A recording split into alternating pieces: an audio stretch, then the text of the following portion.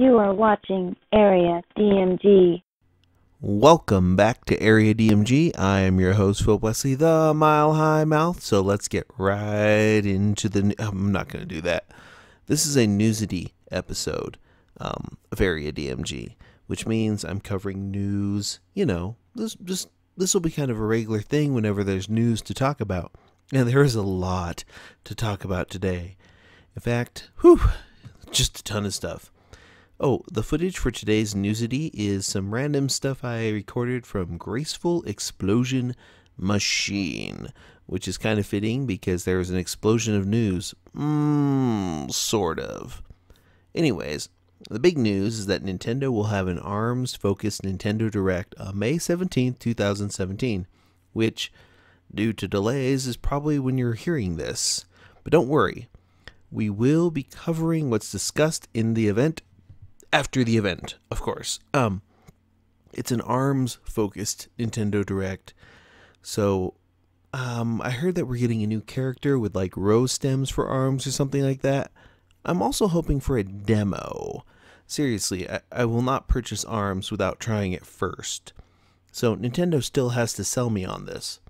They don't have to sell me on Splatoon though. There will also be a new Splatoon trailer, which, um, hmm, I suspect we'll show off a little bit of the single player mode and probably announce another test fire. I hope it's single player focused because I actually really dig the story in Splatoon I'm looking forward to finding out what Marie learns about the other missing squid sister, you know, uh, Callie McGarbage waifu. Anywho, um, part of me hopes there's a real quick mention of Fire Emblem Echoes, which is releasing this Friday, which of course we'll be doing an unboxing for and all that jazz. But yeah, let's get into the other stuff. There were a lot of interesting third party announcements.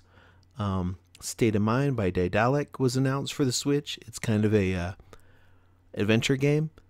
Yoku's Island Express was announced by Team 17. Looks kind of pinball ish.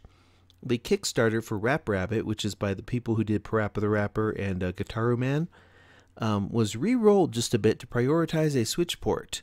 So, uh, yeah, they, re- they realized that their goal of 5 million for a Switch port, people were complaining enough and they decided to change that up a bit, which they should.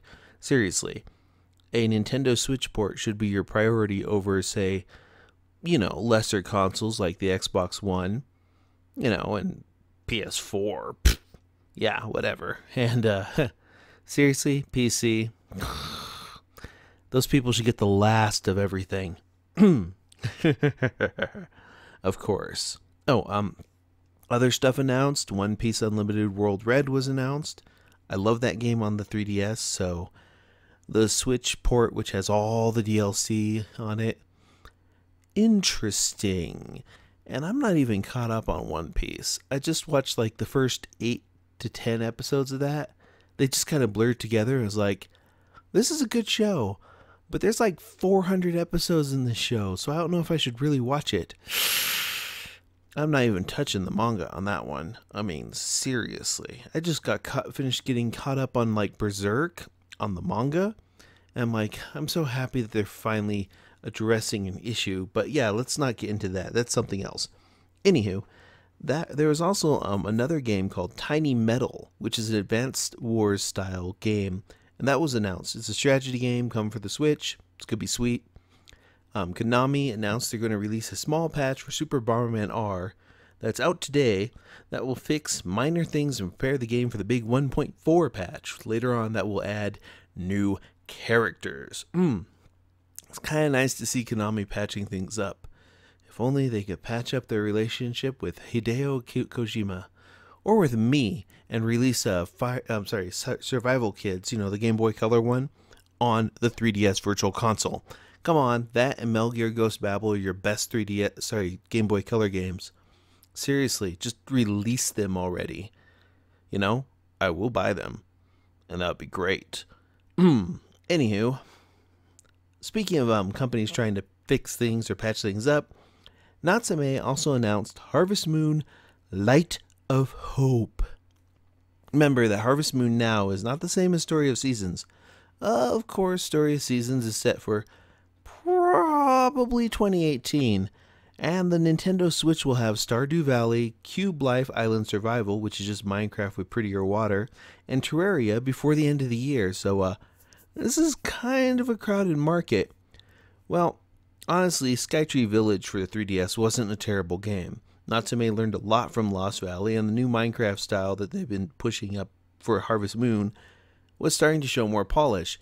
Although there's a bit in the uh, in the um, press release where they go, "This is a where they're looking to quote create a SNES style nostalgic game end quote," and I'm like, "Oh no." Are they to ditch the 3D style for more of a Stardew Valley look? Which, uh, I don't know. We don't know what this game looks like yet, but it will be playable at E3, so oh, yeah, yeah, I'm interested to see what they will pull off. Hmm, yeah. Oh, uh, Disgaea 5 Complete has a demo that's available right now, speaking of demos, on the Nintendo Switch eShop. If you like that series, your progress will port over to the final game. So, you can download without regret and check it out. Dun dun dun. Oh, Redout got delayed. Um, I think it's now July. Mm. And um, yeah. Oh, the kind of biggest news and also the worst news of the day. Uh, Sega.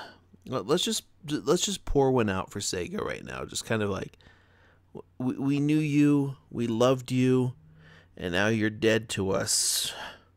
Just pour one out.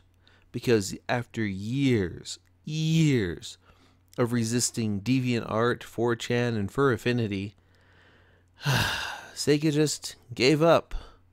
That's it. Pack it up. They're done. I mean, after years of designing random, terrible Sonic characters that we didn't need Cream, Cheese, uh, Rouge the Bat, Knuckles, the whatever that is, you know, the the Echinida, Echidna, the whatever, Shadow the Hedgehog, Silver the Hedgehog, Amy Rose, uh, Tails. I mean, Tails was kind of the beginning of the end. We all knew this. Mm. But seriously, uh, oh, and uh, what happened essentially was they they just finally gave up after they reached the pinnacle of perfection that is Sticks. They decide, fine, whatever, people, just design your own terrible characters. Do it. And so the new Sonic Forces trailer came out, and it finally revealed what the third character in the game will be. It will be a custom character avatar. You can pick the clothes, colors, shoes, gloves, helmets, and more on your custom avatar. There are new weapons that can be obtained or used in the game, and each of the avatar animal species, I meant species, has a special ability. Mm. Ah, I'm just going to read you this list. You, you can be a bear that blows away their enemies with a homing attack, a bird that flies high with double jump abilities, a cat that keeps one ring after being hit, one ring to rule them all. A dog that restarts with five rings after the player dies. A hedgehog, which collects rings when getting damaged. A rabbit that has a longer invincible time after receiving damage. And a wolf, a wolf that automatically draws in rings near them. There are seven in all it's not okay. But but I hope that the characters can be shared. To be honest, well, I kind of want to like race other custom Sonic characters online and make character based based characters based on things and then like cloud save those or share them via QR code or some other type of code. I mean, you know for a fact that people are just going to be like, I'm gonna make something with memes, or I'm gonna make myself my furry Markiplier. Oh yeah, hmm. yeah, and uh, admit it. Every Sabrina Two Kinds or Zoophobia fan is going to be really pleased with this one. Yeah, ah, uh, yeah, yeah. Actually, to be honest, I look at this, I'm like, oh, I can make characters from that are kind of like characters from Undertale, or just make characters that are flat out from Freedom Planet. Like, come on. Uh, the problem, though, is that, well,